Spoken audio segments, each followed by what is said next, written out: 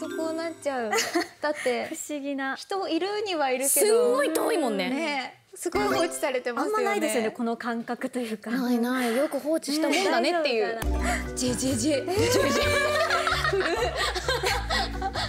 私からはい紹介させてください。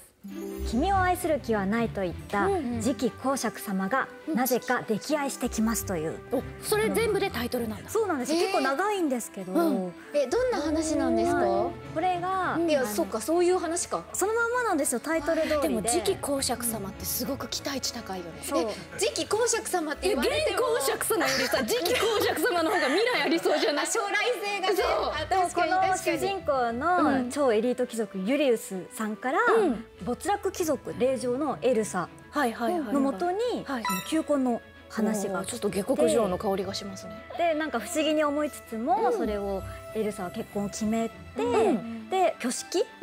の場に初めてその時初対面で会うっていう。へえ。2人が。ででもその初対面で会った時に、そのユリウスがなんか今後君を愛するつもりはないえなんで？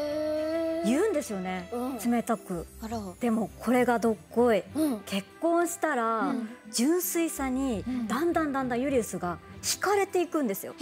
ハマっちゃうんだ。ハマって。じゃあ実は好きだったとかじゃなくてじゃなくて。そこからスタートなんですか？スタート。結婚からスタートで愛が増えるっていう。えー、夢のある話。旦那さんからはなんて呼ばれてるんですか？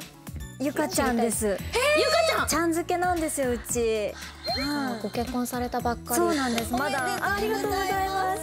えなんて呼ばれるんですか？え？私は、プーとかペーとか。なんでその時の気分に合った擬音で呼ばれることが多いですね。え？すごい独特。反応できるの？あできるんですよ。なんて呼ばれてるんですか、うんなんか例えば誰か第三者の人がいて私の話をするときは「ゆいが」っていう風にうんキュンとするやつだ。今はね。今はね